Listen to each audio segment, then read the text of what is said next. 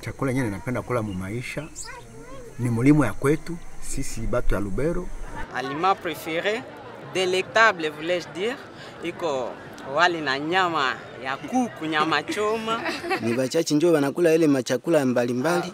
Me, me, ni sababu ya kukosa pesa, lakini samaki inapatikana kidogo kidogo tu, ni juu ya kukosa pesa, njoo maana si Hapa Goma tuko na chakula mingi sana, chakula iko me mwai ya kuifikiria njo nguvu sana zaidi. Pesa hakuna pesa ya kununua chakula. Pata gesi ya pesa hapa ni shida. Hakuna hata kuta siku na, na safara utaona. koko wakati yenyewe nafanya hata mwezi mzima na mimi sipate kitu juu hakuna tourisme. yetu tunauza sama 5 dolari, lakini depuis dawa ikuye hapa inaanza nisaidia siuze kwanza zaidi. Njo maisha yenyewe tuko kwa nao nguvu hapa baba, nguvu sana. Bo, hakuna mwenye atakusaidia na operation, Ukikosa makuta unakufa na ile magonjwa, utafanya nini?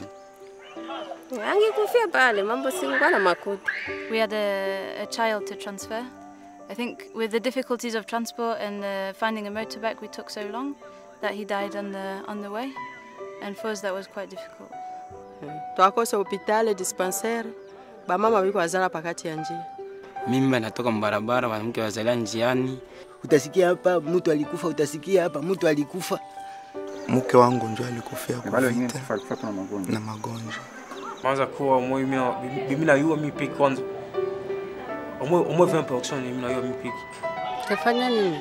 Taika tupe masiku tapataka faranga nina mpeleka kwa mganga. Na wengi wanakufa kufuatana na hali, wanaenda ku- ku- kununua dawa kiolela.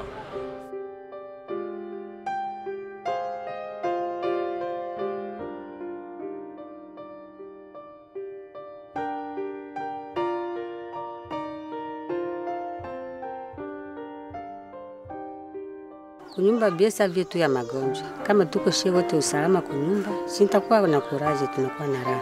Ila ila nifurahishaka kutunza watu juu dawa iko ya bure, nao ni mafurahi juu abalipe dawa.